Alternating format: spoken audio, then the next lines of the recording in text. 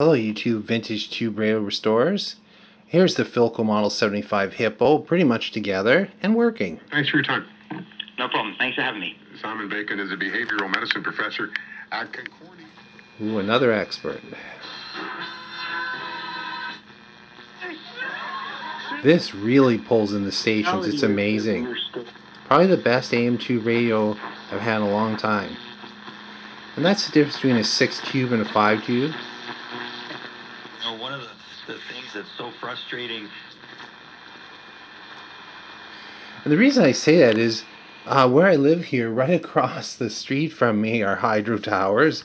And then behind us are hydro towers, and there's LED lighting all over the place and fluorescents. And this seems to cut through it all. It's just amazing. It has a nice looking dial, backlit. I'm just going to spin it around. Now, I didn't repaint this one completely. I did some touch up on it. Gave it a really good polishing with new finish. And here's a look inside. A new nightlight bulb. Um, it's almost all original tubes. Four of the six are originals. The Philco loctals are all original. But the um, 35Z5 and the 50L6 are General Electric and they may have been General Electric right from the beginning as possible.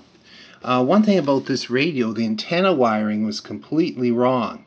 There's two windings within this antenna coil.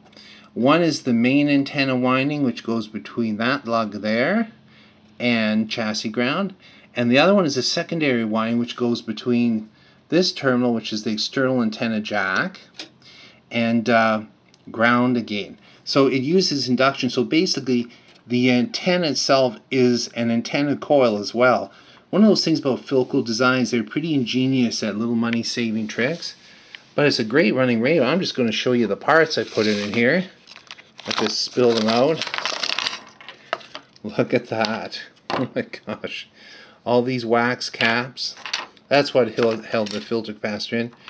Um, it had one of these gimmick caps in it. Um, basically between B minus and the floating ground, um, ch chassis ground, whatever you want to call it. It's basically a 0.005 cap inside a little ductor coil, and the thing had been like, you know, it was a mess.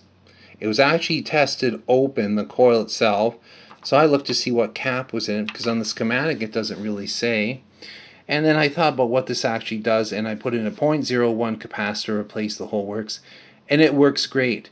Right now it's actually on, not a trace of hum from the electromagnetic speaker. Of course, there's, you know, the regular static you get. Very smooth tuning.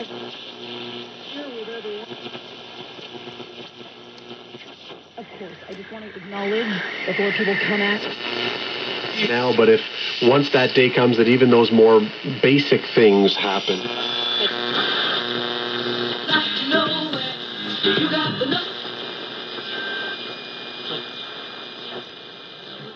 Walked along beaches and enjoyed a guided tour, snapping pics of gold. That's probably the strongest local AM station is talk radio.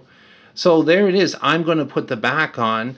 The back is actually in the other room, and it was kind of warped. It's the kind that has the four spring clips. So I'm going to have to steam it with the tea kettle and strain it out a bit. Then put the back on, and it's ready to go. New polarized AC cord. Thanks for watching and listening.